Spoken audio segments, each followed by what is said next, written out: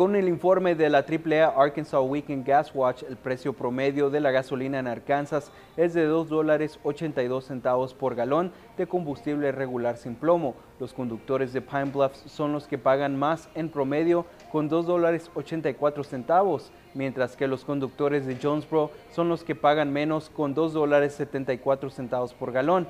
El precio promedio nacional de un galón de gasolina regular sin plomo es de 3 dólares 15 centavos. Según la Administración de Información Energética, el suministro de petróleo crudo y de gasolina refinada está aumentando. Estiman que las existencias de petróleo crudo de Estados Unidos aumentaron en 5,5 millones de dólares por barriles y los inventarios de gasolina de Estados Unidos aumentaron en 900 mil barriles. Junto con el petróleo crudo rondando los 70 dólares por barril, los precios de la gasolina disminuyeron ligeramente durante la semana. Los conductores en Arkansas pagan el noveno precio de gasolina promedio más bajo del país.